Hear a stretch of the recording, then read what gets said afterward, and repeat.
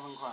对啊，那个北川，北川五幺二事件地震遇，呃，五幺二，这个北移动遇难学生的纪念碑。哦。十二号就是一个月，嘎。啊。他十一号砸的，十一号晚上砸的。总共他存在了多少天呢？存在大概有五天时间。砸掉的理由是什么呀？他说聚众闹事。聚众闹事。他把这个志愿者安然抓到绵阳去了。嗯。志愿者抓到绵阳去了。啊。有几个志愿者被抓了？这个我们就在就是北京 QQ 群的志愿者，他在那个地方给北川的死难师生，也不光是北川中学的，给他们的死难师生建立了一个纪念碑。后来这个纪念碑就被青岛特警用机枪给打碎了。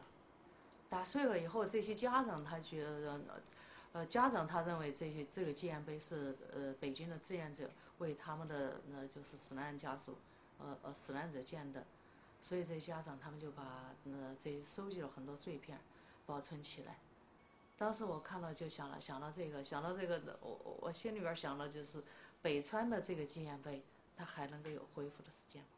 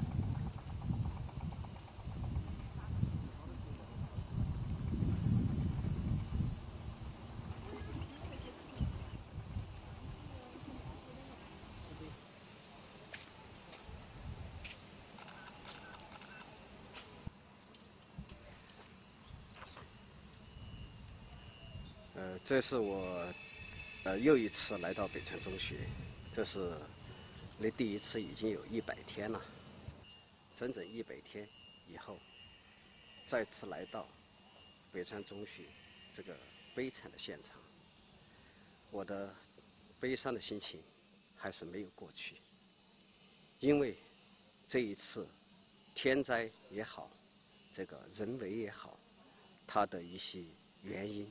还没有查清楚。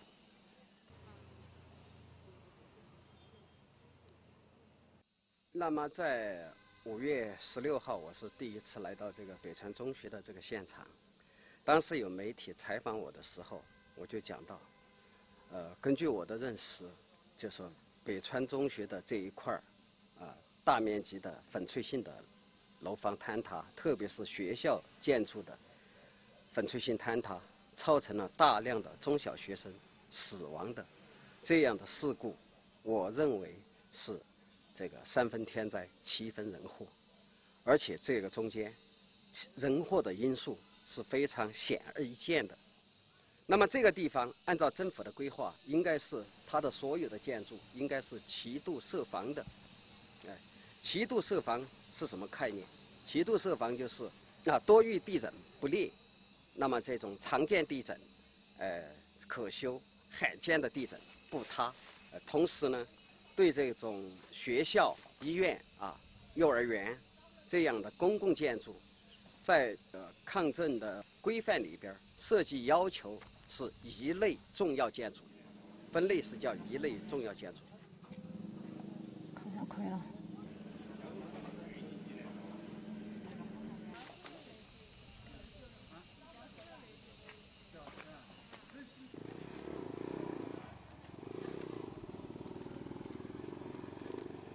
最奇怪的就是这一栋，这一栋是一七十年代修的一个旧的砖混结构的建筑，啊，这个这个建筑是，呃，二零零三二零零四年报的这个二级危房，已经报了三申报了三年了，因为没有钱，房子没有撤掉。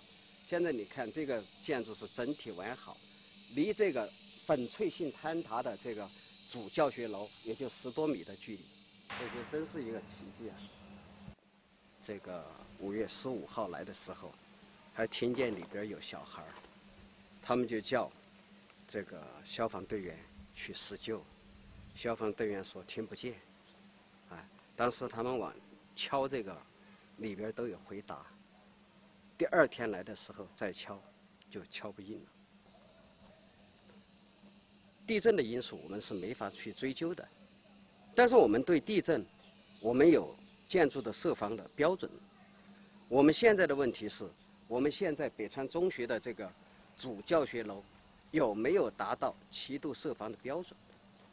我们需要知道的是这个问题，而不能说是因为地震所以倒塌。那我们还要建筑设防标准来干什么？打的这个这个洞，就是日日本救援队他很有经验。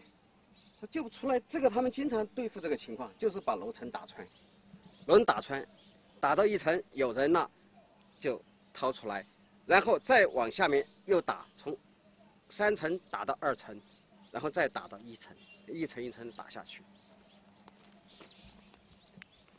这就救援经验，这点很重要。这样救出来，在这个楼里边救出来二十多个中学生。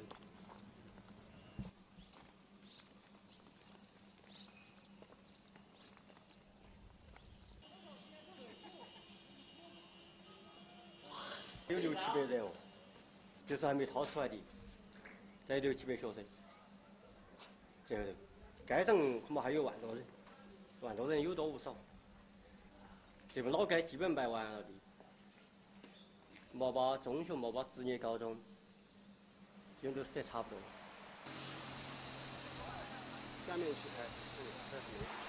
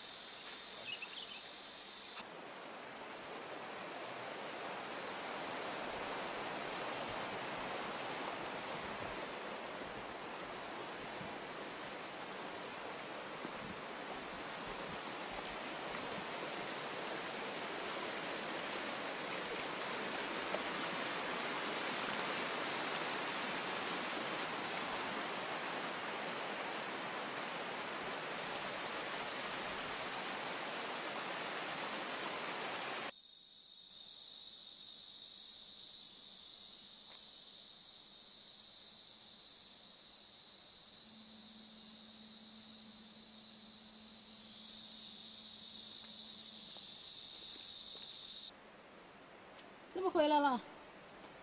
从这边过去，这边怎么。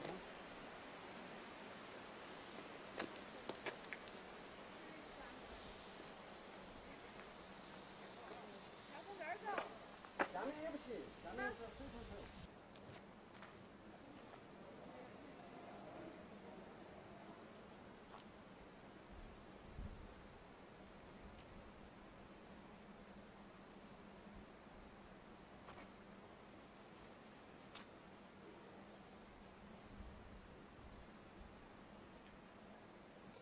北川的这个老县城，沿着山边的一这一条叫渠山街，呃，从一九五二年，北川县城搬到这里，当时只有七十二户人，三百二十九人，呃，那么发展到现在将近四万人的这个城市的规模，呃，那么因为这个对面这个山叫王家老爷，一直就是一个地质非常不稳定的地方。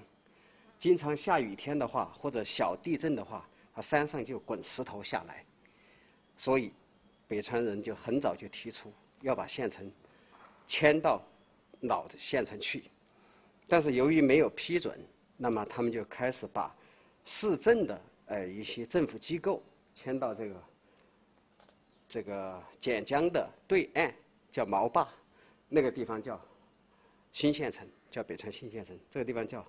北川老县城，那人就思想比较麻痹了，所以这一次大震来的时候，大家也没有防备，而且这么厉害的地震，他也没有办法去防备。整个王家老爷是向前平推一百米，把整个渠山街，这个这个老县城里边应该有一万以上的常住人口，那么加上暂住人口，应该接近两万。啊，那么基本上没有跑出来多少人。这个就是目前从城市来讲，破坏最惨烈的一个现场。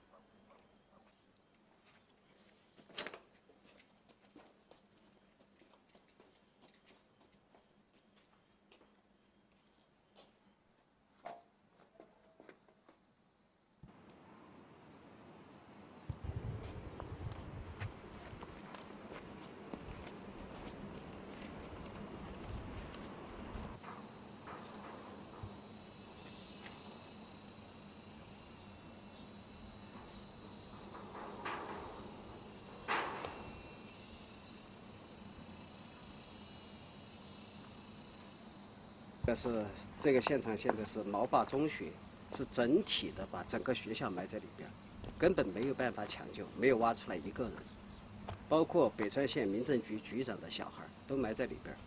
他接受中央电视台采访的时候，他也说，去救其他的人吧，他自己的小孩没办法。王家老爷那边，呃，老县城不识货，现在在毛坝这边，也是很不识货的。这边的山体垮塌也是整体垮塌，呃，县的行政中心、县政府，啊，这个商务中心迁到这边来，是从九十年代开始，陆陆续续的往这边迁移，包括学校。但是这样同样，这边同样不是一个适合的县城的一个地方。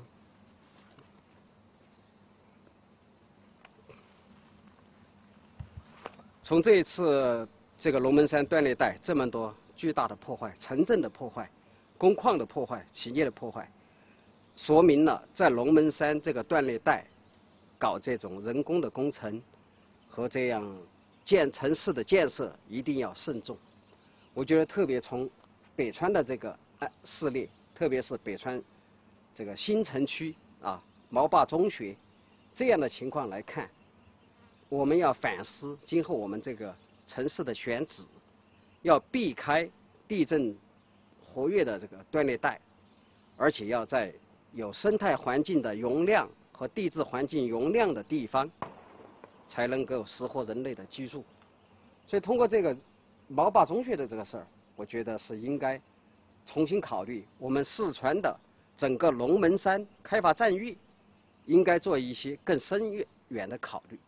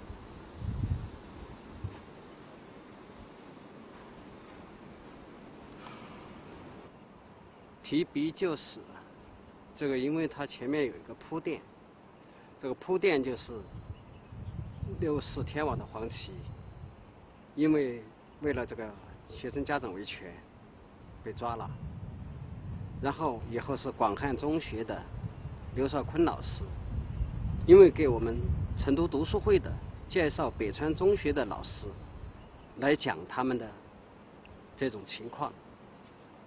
那么也被公安机关抓了。那么别人说好事不上山了，我就算第三个吧。呃，我也预计，就说我这个文章发表以后，很可能就是给我抓起来判个三年五年。我做好了足够的思想准备，就是在这样一个世界大灾难面前，如果没有人出来说话。大家都是缩头乌龟的话，我想这三年五年，我跟大家不见面好一点。